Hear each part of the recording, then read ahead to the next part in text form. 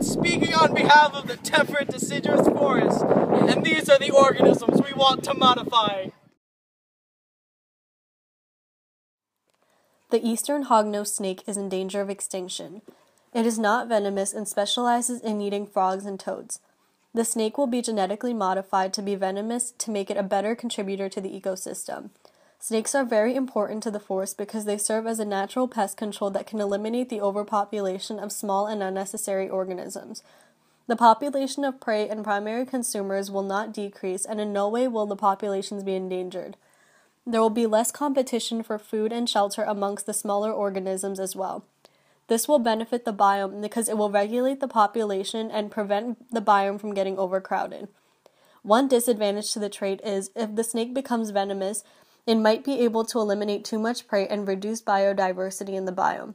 But this problem fixes itself because snakes also eat other snakes even if even though they're of the same species. When snakes eat other snakes, they can re- regulate the population amongst their own species and therefore allow more prey to reproduce. The organism I want to modify is the Lomatium cookii because it has been dying from the lack of water and also the surplus of water. The organism is now considered endangered, so modifying it to live longer is necessary. Adding a trait that allows the Lomatium cookii to survive in the absence or overpresence of water would be beneficial to the biome because then biodiversity will be sustained.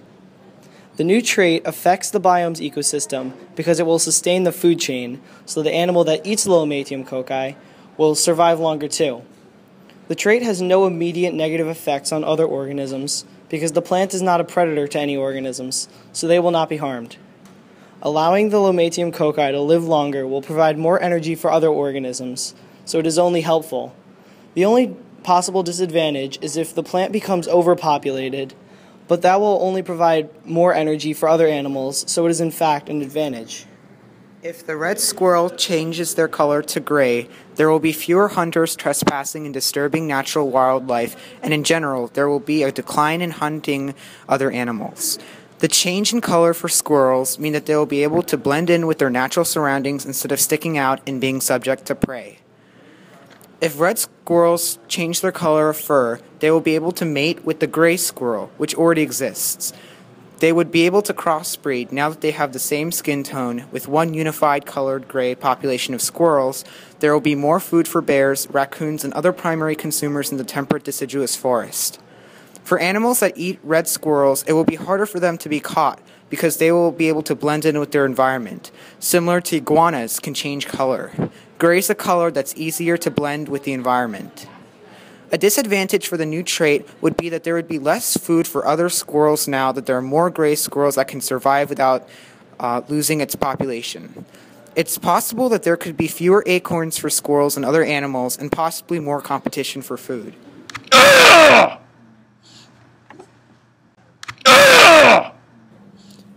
I decided to alter the blackberry bush and add cactus genes in order to retain water better and to withstand harsher environments.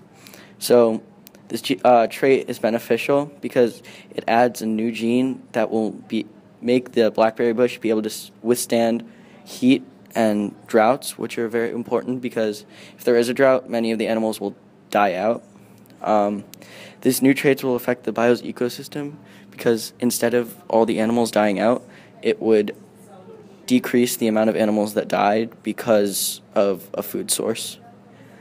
Um, and one disadvantage of this trait is it added uh, thorns, but this could also be considered an advantage because the animals smart enough to get the berries uh, will survive, and usually you want smarter animals in an ecosystem.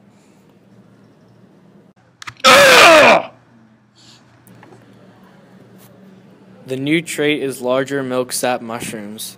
These mushrooms are already edible, so if their size was enlarged, there would be more food for the animals. This would mean there would be more nutrients, nutrients and energy in the biome. Almost all of the animals in the biome would be able to eat it. It would also be very rare to run out of food. It makes all animals have a common food source. All animals would be able to have something to eat the enlarged mushrooms would make the biome have more for the animals to eat. There would also be less fighting over food between different animals and organisms. It will affect every organism in a positive way. It would provide more food for almost every organism in the biome because there would be a greater amount of the edible milk cap mushrooms. A disadvantage of this trait is that the milk cap mushroom's size enlargement might take up too much space.